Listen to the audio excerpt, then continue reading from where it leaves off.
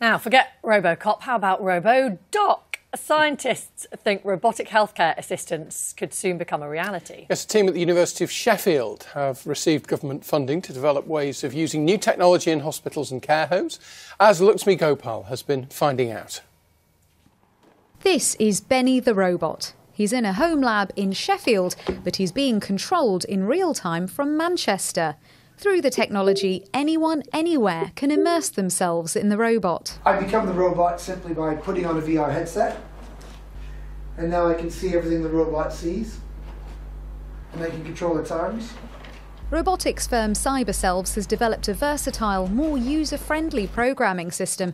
So, what robots can't yet do alone can be done with the help of human controls. They hope it'll revolutionise health tech. Well, there's an increasing use of robots in healthcare right now, but the artificial intelligence that powers those robots isn't quite up to scratch. And the programming is very, very hard. It requires incredibly specialist um, degrees to program robots. So, what we're trying to do is simultaneously make it easier to control robots and also to make up that gap for the artificial intelligence. So, um, a, a, robot moving around a hospital, let's say cleaning a ward, uh, will get stuck or won't know how to do a certain task. A human being can enter into it, perform the task, and the robot can then learn in the future from that as well. The same system can be used to control any number of robots to perform a whole range of different tasks, from surgery to bomb disposal, or, for example, in care homes as a way of having COVID safe company. You bet.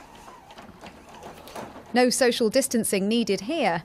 It's the closest to being with someone without actually being there and opens a world of possibilities. How are you today? I've got your medicine right here.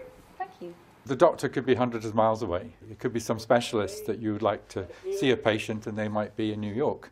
And they just need to put on a VR headset and they could be in Sheffield uh, looking at this patient. Can you look to the left for me, please? Uh, and now to the right?